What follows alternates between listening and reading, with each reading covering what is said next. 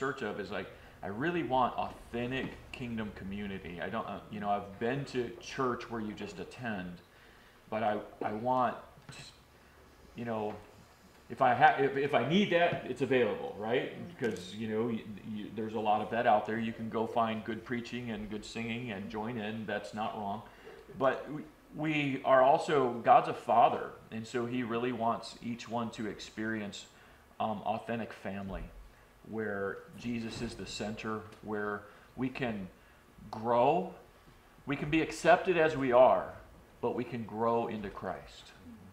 Yeah.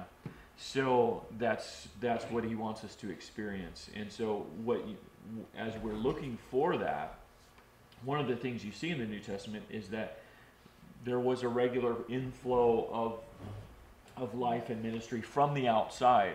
Because how many of you know um, sometimes fam- families need some outside resources to keep things on track.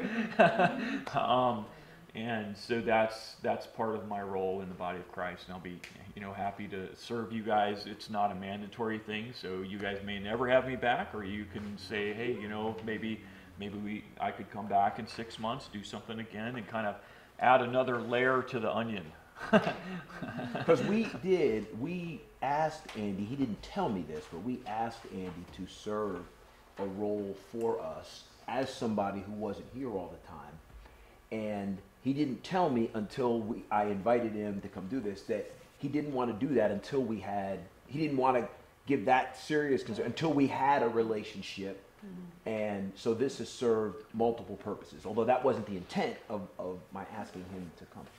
So that. I yeah, I brought that back up, saying I kind of let that sit in my inbox because I don't want to just be, uh, you know, my signature on some legal form somewhere without a real relationship. Yeah. That Right. you know, it, it should be real. Yeah. And, and it was kind of neat that that what ended up happening was when you guys started to pursue the re- the reality instead of just the formality. Then I'm like, okay, now I'm, I'm now I'm interested. He didn't tell me that, but that's how it shook out. Okay. Yeah. And so, Miss Rachel, This is my lovely husband Scott. there you go. and he's, noticed that yeah, he's been around a bit, but uh, so thank you, dude. Scott and I are very, very opposite. He hates crowds and large gatherings, so this is good, but still, I don't know. It's a little bit lot. Yeah. You did the baseball game with us. Yeah. Yeah, so that's cool. Oh, by the way, I got another date too. So Cool. I got a date already. Yeah. So I'll tell you about that. What's your date, Sean? Don't worry, I don't know. I have this home. I got it. And.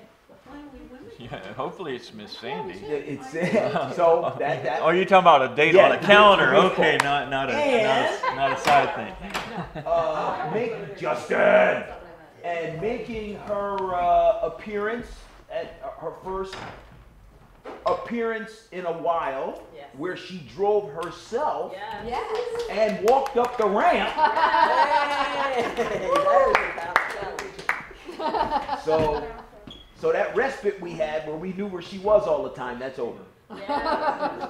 Yeah. Now, Now she's a wild woman. Yep, stay on the lookout for mom, yes. better looking. All right. So last thing I'll say, um, bef- well, last last two quick things for us. So, gang, um, Andy, th- this is what he's doing for us is what he does full time. He's in full time ministry. He does he does not have a congregation back at home or anything, and um, he comes when he's invited. There's there's there's he he he's received freely. He gives freely. If you want to support the work he does, you can give something to directly to Andy. You can to Tina. We can send him something. You can go to his website and look. Um, but this is what he does, and he makes himself available to people pursuing the kingdom. Okay. And I also want to thank Andy and and the Spirit of God because you will notice, gang, when when when when I put the schedule together, it was just time blocks. And as I could be prone to do, I, I, I didn't plan, and I thought it would it would happen as it happened. And as it turned out, it, it's really you know been different, but it's been great, great, great, great. So today, even now, we'll make the, the transition. You know, we we've we've sat through a number of. I was almost everybody in here was at something. So the question, and ultimately, is so what does this mean for us as a community? Right? What do we do now? What, what, what should what should we? And we thought today um, um, would be a good day to now get to maybe a little foundation. But so let's let's talk about what, what this means for us going forward and, and how we can begin to be even more doers of the word and not just hearers of the word. Okay? Sure. So, um, I guess with that, a couple of things. One is regards to giving and stuff like that. Nobody here should feel any obligation towards that. Um, I'm here and I'm happy to be here. I came freely and am able to do so um, because God takes care of my needs. And some of how the way God takes care of my needs is by moving on people's hearts to give to. So this is actually not about you guys because I'm here regardless, right? I'm already here. I'm not leaving. Whether anybody gives a thing. So if nobody gives anything, I'm still here and I'm happy I'm here. So this is about you guys having an opportunity to bless the body of Christ with uh, other people. You know that uh, I can go and minister freely, and so a lot of the ministry that I do is is uh, overseas. It's uh, to um, recovering drug addicts. It's those kind of things where you know, listen, there it's nice to be able to go and give freely and have extra time to do that. So um, that's one thing. Uh, the other thing is what I'd like to do today I hope everybody kind of comes into these uh, these meetings. Um, I, I want to talk a little, kind of recap a bit of what we've done um, in the last two days, just to give a bit of a foundation. But then um, I'd like to uh, give a bit of, of kind of a coaching sort of thing, and then talk about what that could look like in the future. So um, don't expect this is going to be kind of a situation where you just sit and listen and uh, think of this as this is kind of like I hope everybody brought their gym bags and their exercise because I'm the aerobics instructor for today because we're going to actually do some stuff together and don't be afraid because every, you know nobody's professional this is going to be a nice um, time together in the Lord um, I think, unless you guys just go kicking and screaming, like, we're not going to do anything, you know. So it's okay. Um, so I, here's one thing I just want to say, just in general, in terms of relationships in the body of Christ, as you have more of a relational uh, approach to Christianity, um, that's good because now you're in the position to actually fulfill Jesus' vision for the church. He said, you know, by this they will know that you are my disciples, that you love one another. And there's a lot of times now where people they love their church. And what do they mean by that? Well, we love the worship service. We love the way the pastor preaches. We love the, the, the music. They have a cool youth program.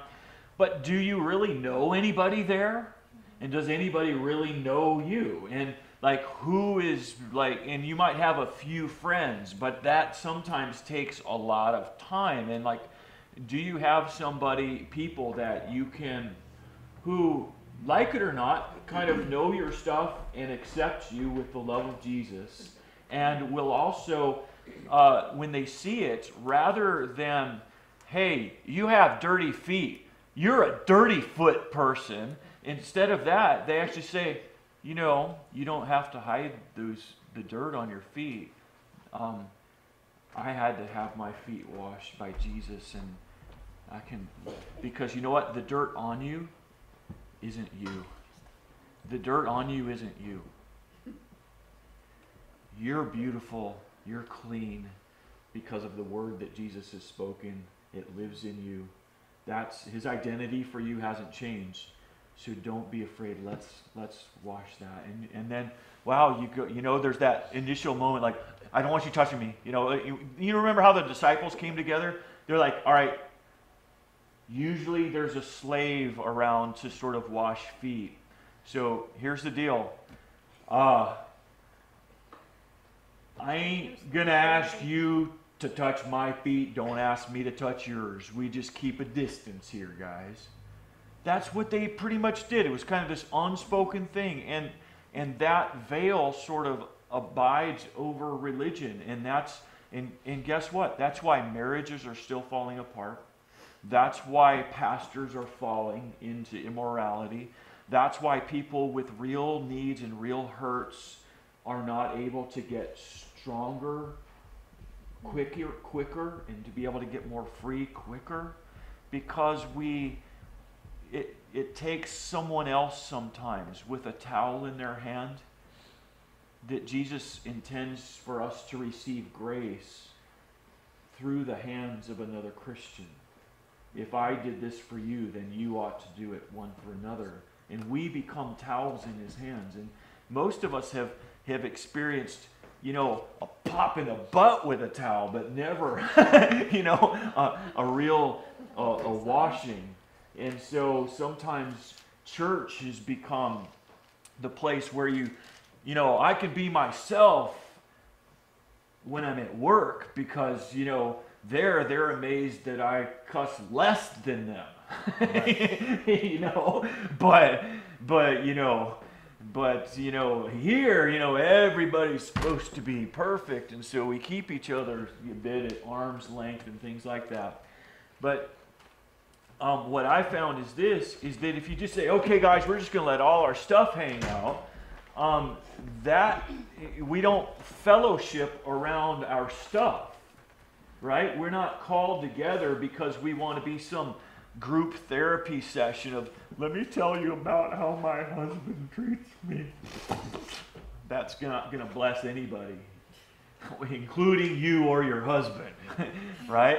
It, not that they're not, not that there's not an appropriate place to, to do that. But really, here's the neat thing about it, and this is what I want to encourage people.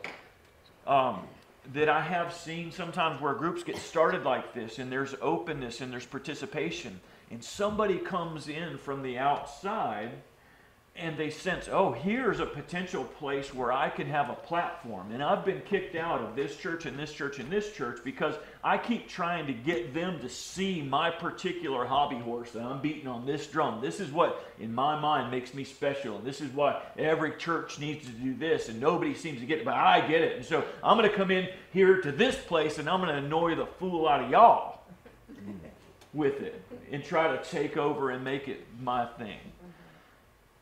So, how do you have freedom with stability, where it's freedom for Jesus, freedom for grace, freedom for health and holiness and the Holy Spirit, without having a free for all that can be an open door for destruction, etc. Um, and so I want to give a couple of things, just a general um, word about discernment and relationships.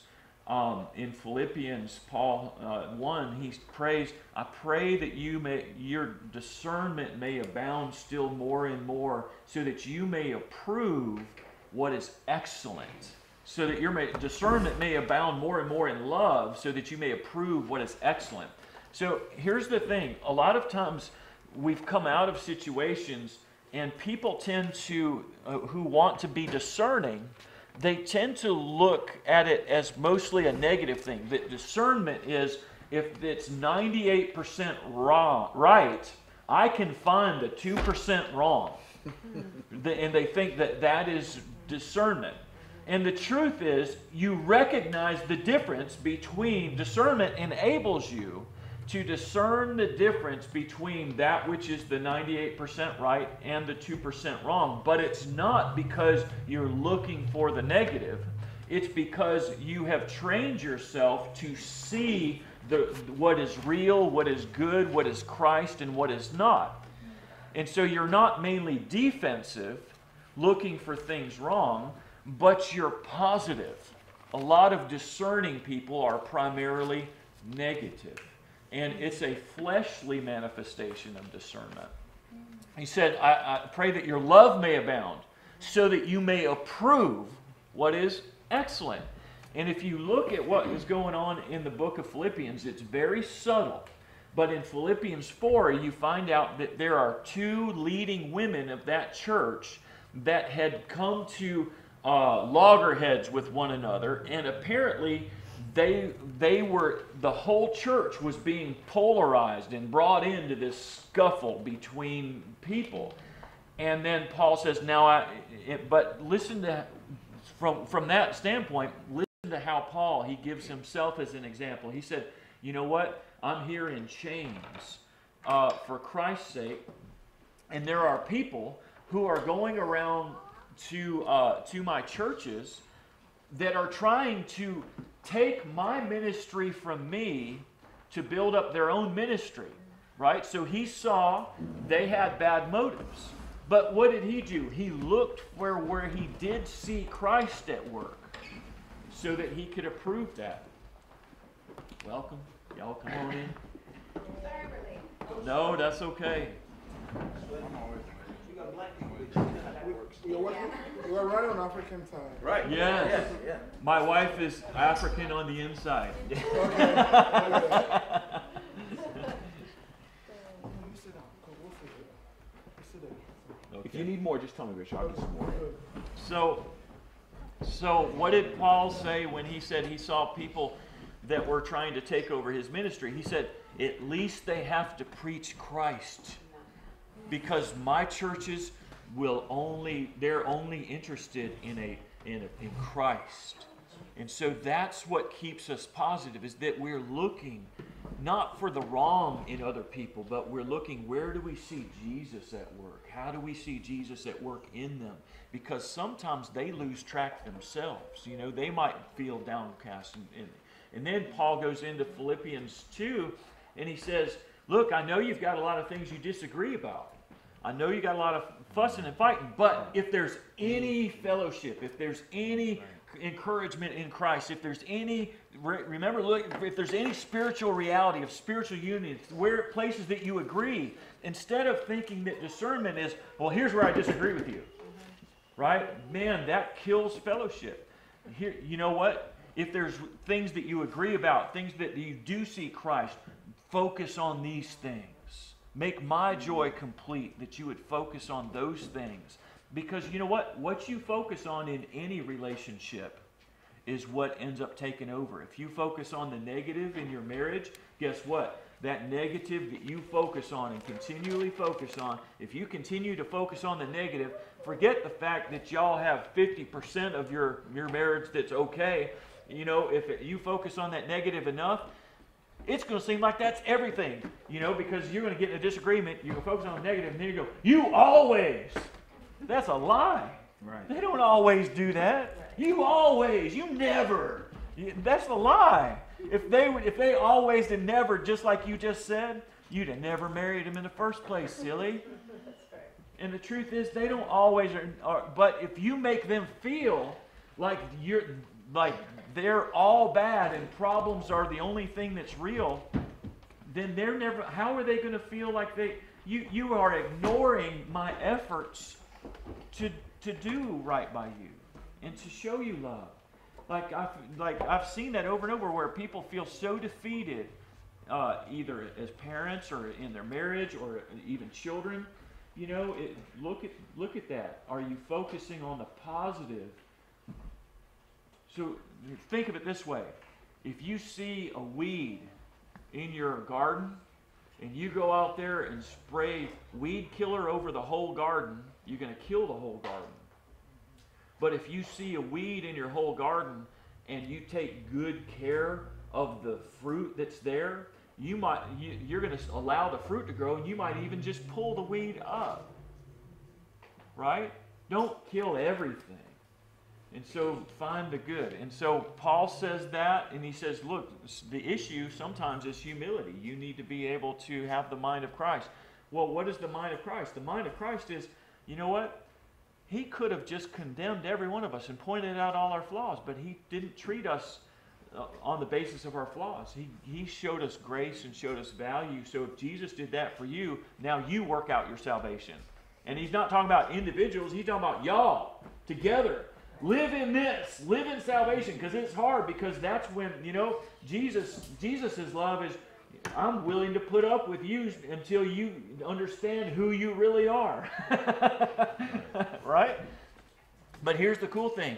Then you go and look at Philippians uh, uh, 3, and you see that the big problem is legalism. That's why people do that. They're always trying to be right. I want to be right. That is what legalism is. It's a, I want to be right. Well, what is your right? My, I have no righteousness of my own. It's not my doctrine. It's not my zeal. It's not my Right, upbringing. right, it's not right, my right. opinions. It's not my study. It's not my anything. My righteousness, I count it all as dung. My righteousness is 100% Jesus. And so if he's all my righteousness, he's, he can be all your righteousness too. And so then you go look at Philippians 4. Well, how does that live it out in practical? Philippians 4 is simply this. He says, whatever things are true, whatever things are lovely, whatever things are excellent, whatever things of good report, focus on those things. And so my encouragement on a relationship basis is to be, be you know why Paul says that? Because he realizes that's God's focus towards us. He's not saying, hey, y'all do it, but God's all focused on your negative. No, he's been in the presence of the Lord enough to realize he is not focused on the 2% negative or the 98% negative. If Christ dwells in you, he's focused on your spirit. And he's trying to get you to focus on that too. Christ is your life. You're crucified with Christ because he wrote to the Corinthians, stinker of a church. He said, You are saints, fully righteous, washed and justified. And he could see that the power of the Holy Spirit was at work in them. So he commanded them on this look, you're lagging in no spiritual gift. Now, there's a lot of things that you're not getting right, but that's not who you are. So, uh, do you see? Do you see how God?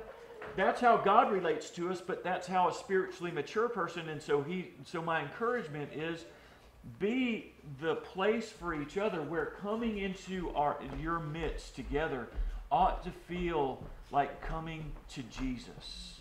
That you know what other people may not understand me, but through Jesus I get grace. I get I get to hear the truth of God that will change me, but I get to walk in accepted. Not because I'm acceptable, but because Jesus has won my acceptance. Mm-hmm. And that I am treasured in the eyes of God because God says you're worth dying for, you're worth paying for. And so we ought to be a place together, a community where every person is treated like they're worth dying for that even if they have wrong ideas or wrong attitudes for a time, we don't define them and their worth by their ideas or their uh, their attitudes at the moment.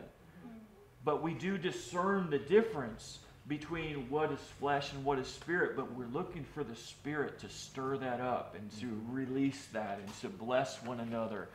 And and what you find is that it's so easy to then you just you know, you walk away from what's dead. You know, you might have come in just not having feeling like you had a whole lot to offer, but at least this could be a place where you know if I get there, I'm going to receive prayer and encouragement. I'm not going to get beat up or, or you know, uh, or told how wrong I am. I know I'm wrong. I just need a place I can go to be helped so that I could be right. Does that make sense? Now, uh, so part of part of what we've been um, talking about together in our times uh, leading up to this point was that how does that relate to you know church? And part of what uh, i've been pointing out is that the essence of church life is really us participating in the life that and the fellowship that has flowed between the father and the son in the spirit. That really is what church life is. It's fa- father son and spirit saying you know the, with the love and the fellowship that we are experiencing through spiritual union of a giving of ourselves uh, uh, the father shares himself with the son and the son receives the father. How? In the spirit. And the father loves the son and the son receives the father's love and loves the father. How does he do that? In the spirit. It's a flow of inmost being that he redeemed us so that we could be welcomed and hooked and he gave us the holy spirit so that that love could now flow in us and through us so that's why it says in galatians 4 6 because you are sons God has sent forth the Spirit of His Son, where? Into our hearts. Doing what? Crying, Abba, Father. So, what, what we have missed to, to a large degree is we've missed that that is the Christian life. It's entering into son, the sonship, the same relationship that Jesus has with the Father, we get that relationship extended to us. Not because we're that way by nature, but because that is what we've been adopted into. And we've been, therefore, given a new nature. Right. The Spirit of God dwells inside of us so that we can open up our hearts to, to take that position of, okay, I, I was just reading this morning. You guys have read the Old Testament, and, you know there's all these big, elaborate instructions about how the priests are to wear, to dress. Do you know that God didn't do a background check to see if Aaron and his sons have been naughty or nice? He said, sacrifice cleanses them. Now you consecrate them, and they wear a robe because they come into my presence clothed, and they and the and the clothing is glorious and beautiful. Do you understand that you are clothed with Christ in the presence of God?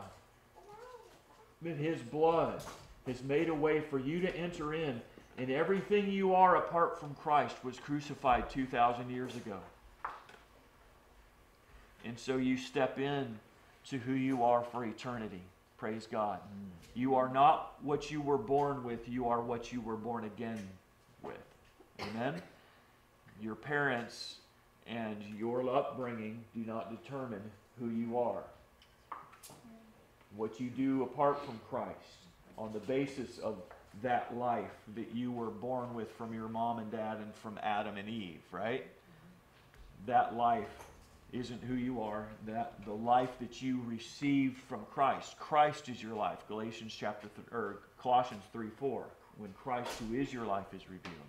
So we need to learn, if God says that about us, we need to learn to say that about ourselves. So, that said, all right, now part, the other part of that, that's where the essence, that's the wellspring, right? You abide in Christ, then Christ abides in you.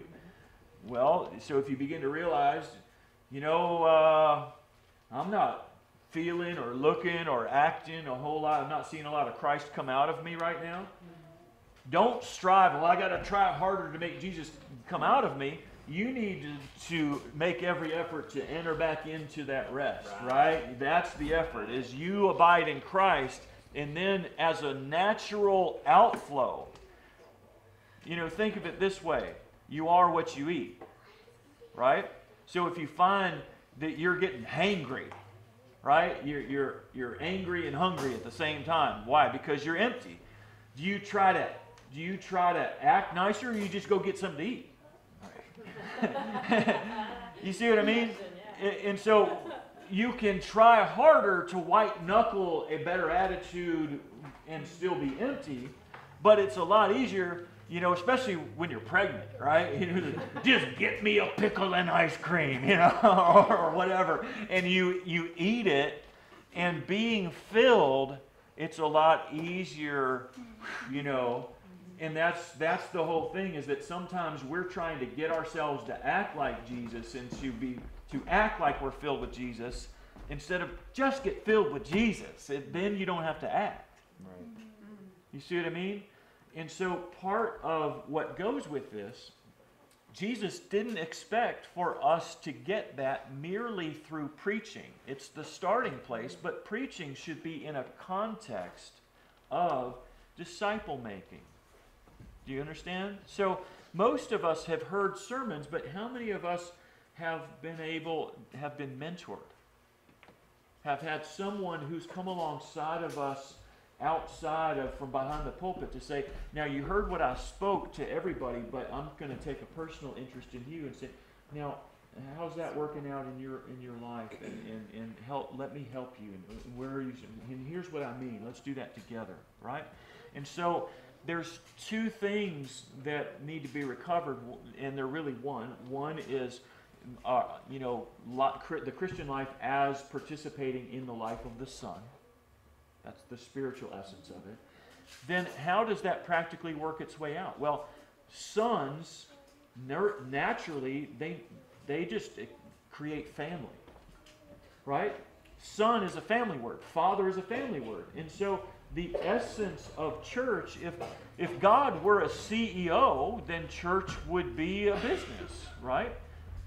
If God were mostly a, a public speaker, then it would be a, a, a, sermon.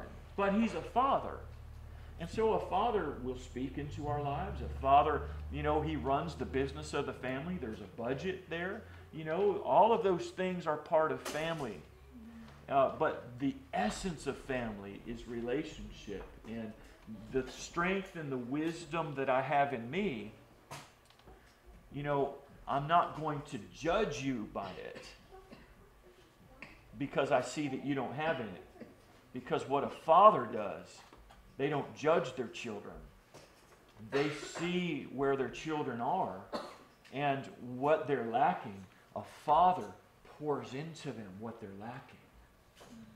You know, when my kids came out of the womb and couldn't walk, I wasn't disgusted with them.